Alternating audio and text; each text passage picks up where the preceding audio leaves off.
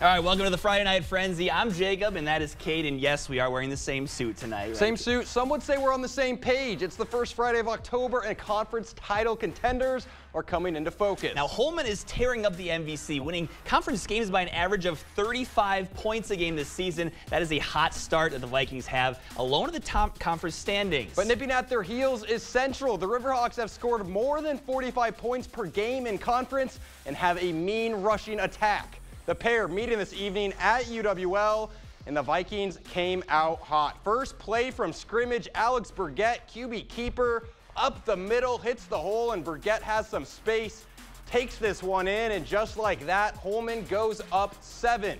Next drive, Jude Alvarado comes in for one play, been battling a knee injury all season, but he can still throw it and check out this dime. It's Derek Pangier in stride for the score. Missed PAT means Central trails by one. Then after a Central fumble, the Vikings would take a 10-6 lead after Gavin Davis knocks one through.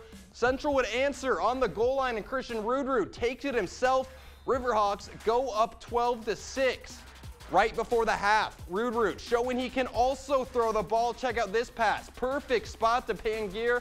Riverhawks lead 18 to 10 at half. And out of the break, Central would put together an 80-yard 10-minute drive, capped off with a Rudrud touchdown. Central up 14. And a few minutes later, Rudrud again on the keeper, nowhere to go. Syke somehow finds a hole, and he is gone. Riverhawks hand Holmen their first conference loss of the season, 36 to 17.